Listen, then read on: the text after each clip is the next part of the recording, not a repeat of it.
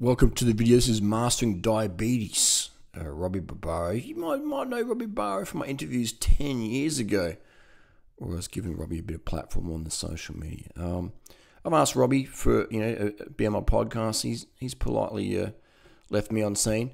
But uh, let's have a look here. This is, this is comments and criticism. Yeah, nothing personal. You know, I'm very passionate about nutrition. And it doesn't matter if a friend, someone's a friend or a foe. If we disagree, I'm, I'm going to say, hey man, your advice is misleading, could be dangerous, could be just you know, could be sincere but sincerely wrong. Let's get into it. This is masteringdiabetes.com. This is a recent article, so written here to June 30th by Cyrus, and uh, June 30th, 2021. All right, so this is, it's on their website current. This is their current belief system. We all change our beliefs, that's fine. This is a current belief. What diet? What should type 2 diabetics eat? Uh, we're going to scroll down here. I'm going to try and get a summary. So you got the fruit, you know, fruit. People think, oh, fruit, fruit's full of sugar, you know, and, and they're right. I, mean, I wouldn't, wouldn't say it's full of sugar. It's, most of its mac, uh, calories come from sugar, but you have to eat a lot of fruit to get enough carbohydrate calories. Um, which, hey, if it's good fruit, that's easy to do because fruit's tasty. When it's when, when the fruit's good, the fruit's good. I love my fruit. I'll eat freaking 70 bananas a day if I get good bananas. Um, so carbohydrates. So they're basically saying, you know, all fruits are good except dates, avocados, and durian. That's really interesting. So they're they're saying that um, rich in good carbohydrate. So that's really it's interesting. That's so, and, and they say you can eat it ad libitum, which means you can eat as much as you want without worrying about portion size. I agree with that. I agree with that. You you definitely not just can, you need to eat as much carbs as you want. All right. Um, but this, so they're saying carbs are good. Right? So they're saying carbs are what are good carbs? I mean, is it good carb, bad carb? No, there's not. Carbohydrate is four calories per gram. Sucrose, glucose, and fructose are found in donuts. They're found in bananas and mangoes. Now, the donut isn't a carbohydrate. A donut contains carbohydrate. A donut also contains fats, a lot of fat, too much fat, oils, lard, etc. Too much fat.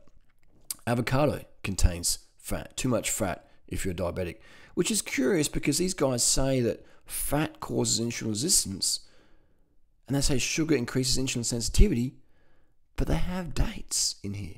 Maybe it's a typo. Maybe it's a typo, but it's not. Because I've asked Robby about it and he goes, Yeah, I disagree. So even Robby disagrees in private, but in public, he's like, Let's put dates in here. So dates are good in private. Robby eats a lot of dates. I know, I've been with him. Um, I eat a lot of dates, and my insulin sensitivity is really good. But avocados, I really stay away from most most days of the year. And durian, as much as I love durian and I'm called the durian rider, it's a seasonal fruit for a reason.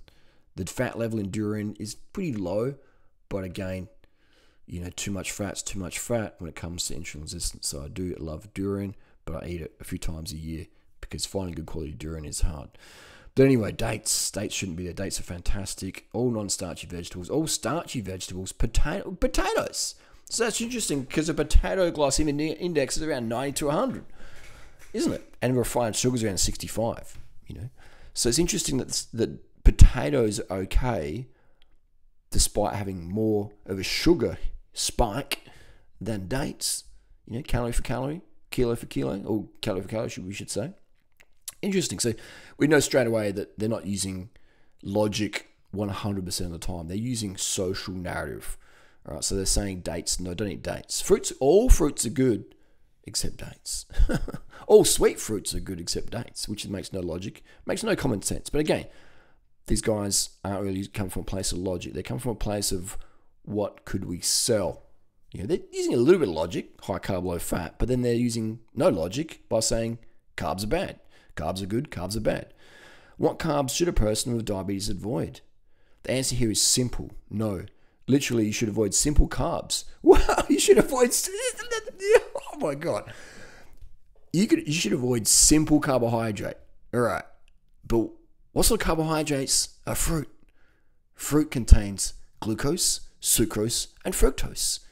And that is simple sugars. So they're saying, no, literally, like they're literally saying literally. you can't make this stuff up, can you? And it's in writing. It's in writing. Imagine if this is in court. So I'm the nutritional barrister over here, uh, the, the lean barrister, one of one of a you know one of ten in the world.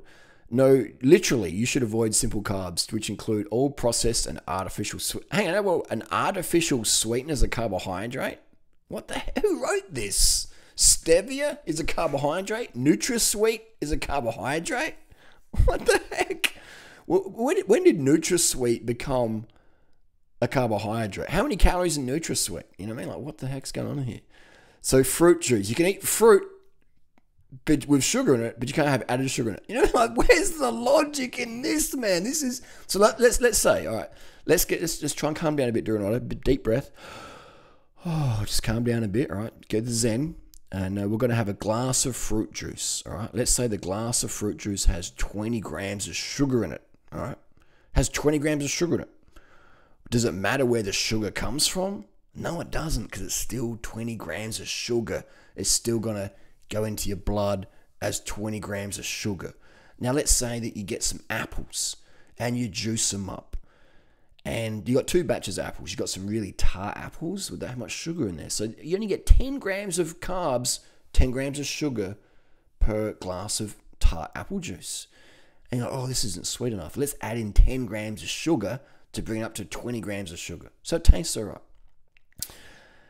Now you got 20 grams of sugar. 10 of that is in the fruit, and 10 of that you added to the fruit, so you got 20. Now, how is that 20 grams of sugar the different to 20 grams of sugar in the other glass of juice where the apples are just sweeter, naturally? You know We're adding in sugar that the, the tree would have added in if it got more sunshine. You know, it's, like, it's just absolutely stupidity to say that fruit juice is okay, but added sugar is not. You know, it's just it's dumb absolute dumb, dumb, diddly dum dums.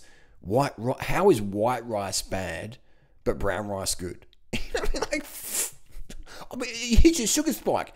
Let's have a look. Let's have a look at what the glycemic index is of white rice. Glycemic index, white rice versus brown rice. Now it's going to vary all the time based on how long you cook it and what sort of rice it is. Okay, so white rice is 70, and it varies all the time. Let's go into the images and see what people say, you know. 66, 55, 93, 70, 87 calories. You know, it, it just varies all the time, you know. End of the day, depends what Google images, depends what website, depends what Instagram thing you, you look at, you know, like, again, calories and calories the same, carbs, carbs, you know what I mean? Like, it's just, this is the confusion. So if you imagine if you're being coached by these guys, imagine if you've been coached by these guys, and you're like, you can eat brown rice but not white rice. So you go to a restaurant and someone says, "Are you eating? Are you eating brown rice? But ain't white? No, no, no. Brown rice, white rice has got more sugar in it. Oh, but the calories is exactly the same. Oh, but but, but the white rice hits your sugar, hits your bloodstream too quick. Oh, but does that even matter? Yeah, because it creates more insulin. But isn't that insulin resistance? Eating low fat, so it doesn't matter. Yeah, but but but I don't know. I don't know. Stop stop hounding me. so it's just like far out. And here's where they get it right. We recommend a low fat diet because excess dietary fat is the primary cause of insulin resistance. Yes, they got it right. The underlying condition that causes diabetes. Yes, type 2 diabetes. Um, now, this doesn't mean you can should remove all fat from your diet, which is practically is actually impossible. No, it's not impossible to eat a no fat diet. You could just live on a carbohydrate uh, product and a protein product, and you get to get no fat. So Intend focus on limiting consumption of high fat foods. Oh, I'm yawning at the contradictions here. This is you know, it's just boring. These contradictions taking me for making me go to sleep. This is what when I want to go to sleep at night. When I wake up in the morning, I'm like get hyped up, and then when I well, at the end of the day, I'm thinking, man, this contradiction is just so so predictable, so predict. It's like watching a predictable movie. It's like okay, we've seen this before. Instead of focusing on limiting your consumption of high fat foods, that's correct It's correct. Um, yeah, what are good fats to, for type 2 diabetes to eat? Foods like avocado, dates. What the? Oh my God! Oh my God! Look at this. Foods like dates are all dense with healthy fats. People pay these guys for coaching. Uh, um, fat uh, here we go. I can not even type properly. I'm just like, what the heck? I'm typing one keyboard, uh, one finger on the keyboard, the other is chicken picking on the fat content, dates, we'll do a typo, it still will work. You know, like the fat content of dates. All right, so let's go, let's go 100 grams of dates is, you know, 0.4 gram, medjool, 0.2 gram. All right, so you got, you got two grams per kilo, all right? Two grams per kilo. So you get, it's about 3,000 calories, give or take you know, calories, so around 2,800 calories per kilo, give or take, the water content. And these guys are saying dates are all dense with healthy fats. Ladies and gentlemen, Your Honor, I deem mastering diabetes as not a good witness. I've been called not a good witness before. Now I understand why. Because my story didn't add up. It didn't match up. Um, this this story doesn't match up. It's hilarious. You know, eating in moderation, these foods won't increase your insulin resistance. Yes, they will. Nuts and what does moderation even mean? What does that? What does moderation even mean?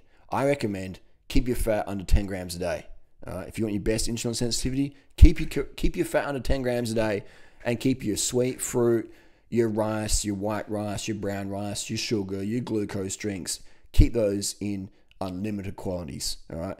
And if you're a type one diabetic, if you're a type two diabetic, you'll know. You know, if you're testing your sugars, you'll be like, damn, doing right was right. Mastering Diabetes crew was wrong. They think that dates, they think that dates are dense with healthy fats.